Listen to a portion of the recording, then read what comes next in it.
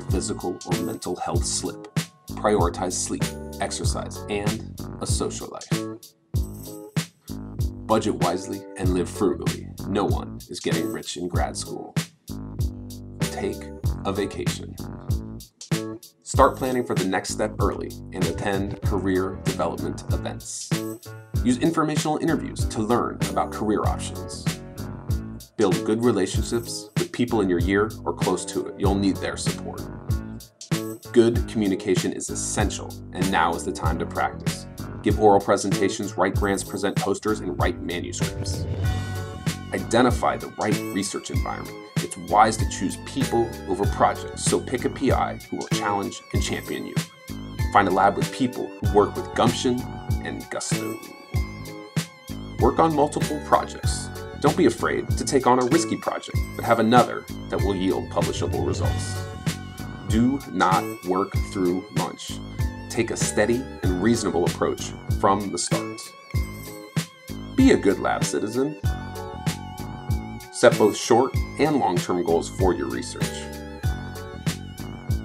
Manage your time and be efficient. A solid 9 to 5 workday is way better than a lazy all nighter.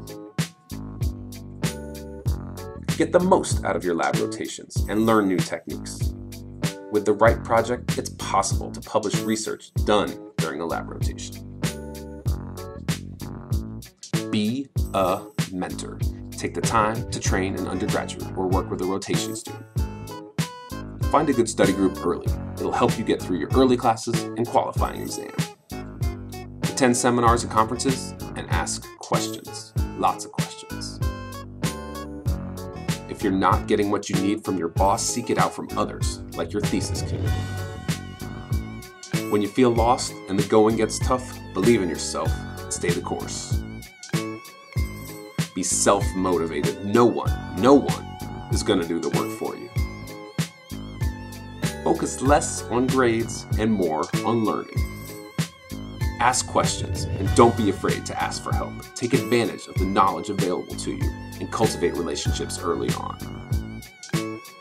Build confidence and develop a thick skin. People will and should question your work.